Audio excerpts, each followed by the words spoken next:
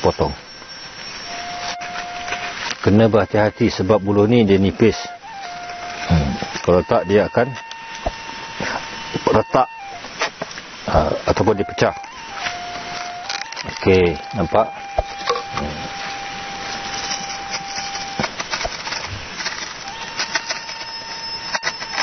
cara nak potong. Ini okay, satu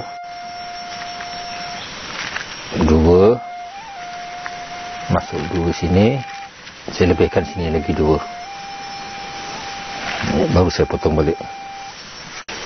Cara potong dia mesti ke sana bukan ke sini. Kalau ke sini you punya ini akan pecah. Ya, kalau ke sini dia akan selamat. Hmm. berhati-hati sebab uluh ni tajam.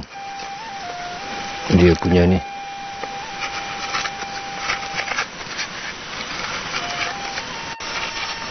jangan tekan terlampau kuat takut apa ni? Dia ni. Tak stabil. Hmm. ok sekarang dah putus ok kita ni tadi ada lagi balance. Ada lagi dua kat sini. Ha, ini yang kita nak guna. Ini nanti saya akan buang balik. Ya? Dari sini saya kena buat dua jari lagi. Dua jari lagi nampak? Saya apa ni satu garisan hanya menggunakan pisau. Jangan dalam sangat. Sebab kata tadi buluh ni nipis. Kalau dalam tiba-tiba you nak apa dia akan pecah. Ok ruang ni saya biarkan dalam lima empat jari. Ya? Empat jari. Ok jadi saya kena gariskan lagi nampak ok sama juga di sini kalau kita nak cantik Hmm. Okey, dan ini kita ikut sama rata bagi dia lurus juga. Senang untuk kita nak buat ukiran. Ya, cara ukiran pisau dia kena depan ini halus tajam.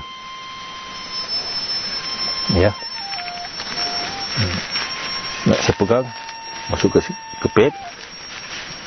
Ya, tengok dari mana. Misalnya kalau saya dapat pucuk rebung. Ini nak hias lah, nak bagi cantik kita punya sarung. Bagi sarol. Okey, ini pucuk rebung. Jadi, kemudian saya tak boleh tekan dalam sangat. Takut dia termakan lebihnya apa ni. Dia hanya sedikit saja di kulit, kulit buluh. Saya, saya dapatkan satu baris dulu untuk yang pertama. Kemudian uh, biasanya saya guna yang berminyak. Macam biji kelapa sawit, buah perah ataupun sarang daripada lebah. Biasanya madu tualang lah. Ini pada buah pinang. Nampak kan? Ha. buat satu garisan lagi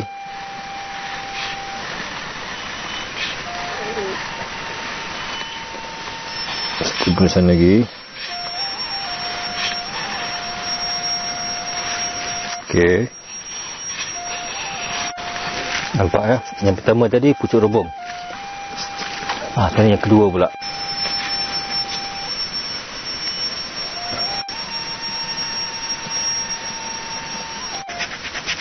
Nampak ya? Di sini ada macam ada corak. Saya nak bagi dia terang sebenarnya nak ukir dekat kulit buluh ni memang susah. Kulit buluh dia licin. Jadi satu mata pisau ni kena halus. Ya. kalau mata pisau ni kasar tu tak cantik. Kedua pula dia tak lurus. Kita nak corakkan dia ni. Kita pulang lah kepada kita punya apa ni. Dan saya lebih suka buat jenis yang macam pucuk rebung ni. Jadi senang sedikit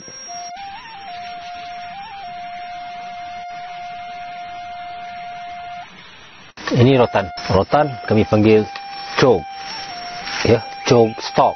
Ya cara belah dia tengok. Okey. Cukup. Tak banyak. Satu ratakan. Buang dia punya tajam. Yang ini hiasan juga. Ukur di sini. Ya. Okey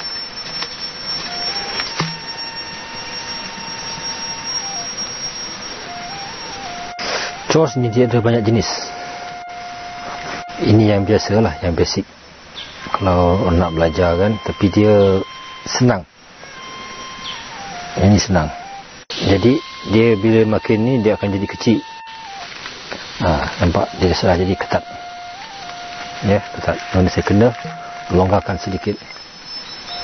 Ha, cara dia longgarkan. Hmm. Bagi dia terbuka sedikit. Untuk mudah nak masuk ke dalam buluh ini. Separuh tu, tu dia pakai rendam dalam air. Lepas tu baru dia ni, supaya lembut. Yang ini dimasukkan sampai ke sini. Wah nampak? Ya dari sini tadi garisan yang ni kena anyam sampai sini. Hmm. Ini. Sini dan sini. Okey, hanya um, berjenis-jenis lah. Kalau ada fern tebok jalin dengan rotan. Sampai sini. Jadi kita biar kosong sebab ada penutup. Nak tutup dia punya ini. Ini saya tinggalkan kosong tengah-tengah. Jadi saya anyam rotan. Ya tujuan rotan ni bila kita dah buat gelang macam ni ya dipanggil cenos atau simpai ya, ya simpai ni sebenarnya dia menguatkan untuk buluh ini. Kedua pula menjadikan hiasan cenos yang lain dia ada campur dengan resam. Resam ni saja ada warna dark ataupun uh, yalah brown dengan rotan dia nampak lagi cantik. Ha, yang, yang yang gelap ni fern resam. Yang putih ni rotan. Ini yang kita dapat? Tahu untuk hiasan dan menguatkan. Supaya bulu ni dia tidak akan merekah. Ok nampak ya? Penuh ni. Ah, macam ni dia jadi. Ah, di sini. Semua kena anyam. Tutup pertama sekali kena berhati-hati ya. Bulu berbahaya. Di mana minggu lepas saya tidak dapat keluarkan video kerana saya tercedera. Lutut saya di sini kena buluh yang saya bawa. Ya di sini. Sudah hampir dua minggu saya berehat di rumah. Jadi buluh kena berhati-hati. Memang tajam dan berbahaya. Jadi sekarang saya sudah potong dan nipis. Ya nampak dan nipis. Hmm, ini saya tinggalkan. Saya tak nak apa-apa ukuran lah. Jadi biasa ukuran. Panjang mana. Ya kita tengok kita punya ini tadi. Ok panjang mana. Saya akan potong di sini. Ya kena lebihkan ya. Sebab apa? Kita tak tahu. Bila dah potong macam ni kita tak layur lepas layur dia akan kecut. Bila kecut dia ni akan kemek. Ha, kita sudah rugi ya. Ni sekarang saya kena potong lebih di sini.